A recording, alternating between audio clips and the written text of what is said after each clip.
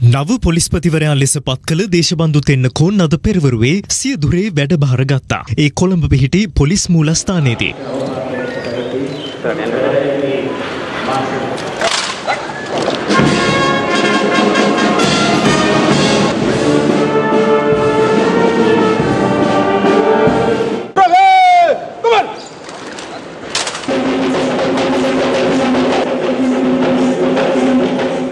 මහා සංගරත්නයේ ආශිර්වාද මැදයි පොලිස්පතිවරයා සිය දුරේ වැඩභාර ගනු ලැබුවේ.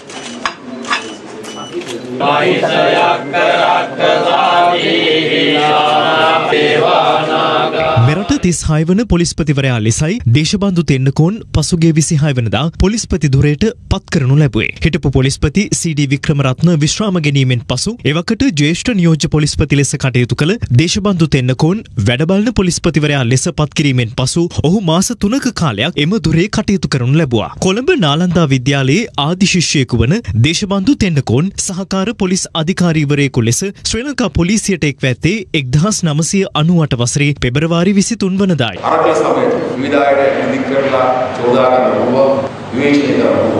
නමුත් මට පැවතිච්ච රාජකාරිය ශ්‍රී ලංකාවේ සිටින්නේ මගේ ශක්ති ප්‍රමාණය මොකද අපේ සිය නොකරකට තවහරලා විතරක් වෙනස් කරලා තිබ්බා.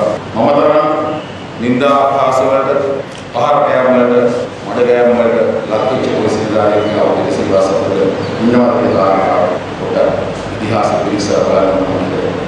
කලාපතියේ කැලේ ඉන්නකොට සර්පේ හැමතිස්සෙම උත්සාහ කරා වුණ කලාපතිය කන්න. නමුත් ඒ කලාපතිය කන්න ලේසි වෙලා නැහැ හැමතිස්සෙම. කන්න ළඟට කරන කලාපතිය එහෙට මෙහෙට කරලා ඒ. නමුත් අවසානයේදී කලාපතිය ගිහිල්ලා ගහේ උඩ අත්තරකට ගලා පොලේ වහලා ඉන්නකොට මේ සර්පයා ගහකින් උඩලාගෙන ඉන්න. සර්පයා කලාපතිය ළඟට අද කාලේ ඉවරයි. දැන් උඩ මාව කන්න පුළුවන්. හැබැයි මම ප්‍රශ්න තුනක් අහනවා. පළවෙනි ප්‍රශ්න. උඹේ ආහාර දාමේ පුරුකක්ද මම? සාර්ථක කීයේදී උත්තර නෑ. දෙවෙනි ප්‍රශ්න.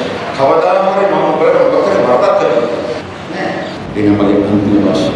කිසිම වරදක් උඹට නොකරපු මම පස්සේ මෙච්චර පන්නන්නේ මොකද මාව මා පස්සේ? මට ඔබ බැබලෙනවා පේන්නේ මට කරපු නිന്ദා කරපු දේවල් වලින් තමයි මම මෙච්චර ශක්තිමත් වෙන්නේ.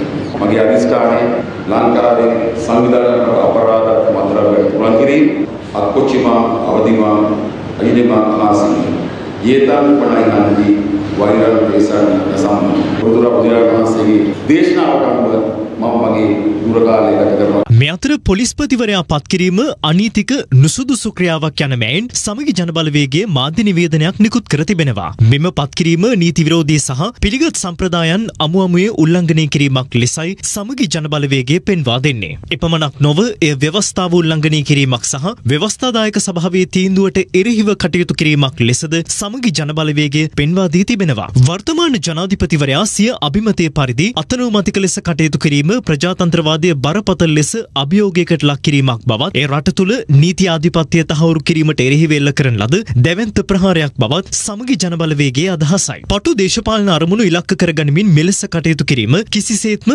අනුමත කරන්නට බැරි බවයි සමගි ජනබලවේගේ සිය මාධ්‍ය නිවේදනය මගින් දක්වා ඇත්තේ. රටේ ලෝකෙ සිදුවන උණුසුම් පුවත් දැනගන්න සියත නිවස් YouTube channel එක අදම subscribe කරන්න.